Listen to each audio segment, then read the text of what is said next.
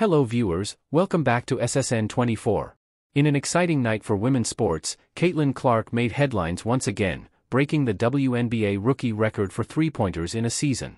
The Indiana Fever's rising star achieved this milestone during their thrilling 84-80 victory over the Connecticut Sun at Gainbridge Fieldhouse in Indianapolis. This special moment was witnessed by none other than U.S. gymnastics legend Simone Biles, who recently dazzled at the Paris Olympics with three gold medals and a silver.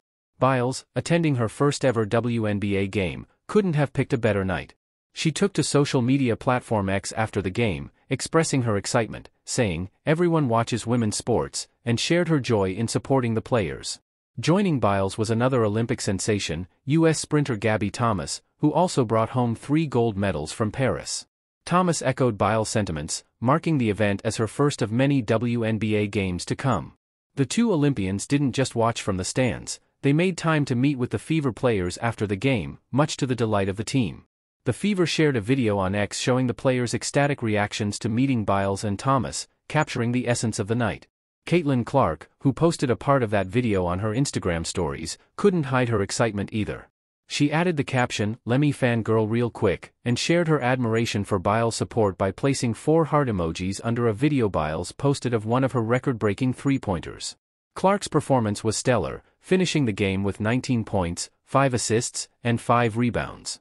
Her first three-pointer of the night, which came in the first quarter, etched her name in the WNBA history books as she surpassed Atlanta's Rhyne Howard's rookie record of 85 three-pointers set in 2022. Notably, Clark already holds the rookie record for assists in a season, with 252, and is on track to possibly break the overall league record of 316 set by Connecticut's Alyssa Thomas last season. Although Caitlin Clark didn't make the U.S. Olympic team for Paris this year, her current performance has drawn significant praise. During the Olympics, South Carolina coach and four-time gold medalist Dawn Staley mentioned that if selections were made later in the WNBA season, Clark would have been a strong contender for the team.